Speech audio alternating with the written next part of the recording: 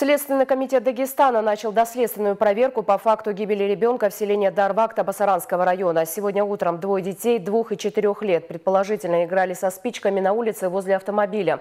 В результате неосторожной игры тюки с сеном рядом с машиной загорелись.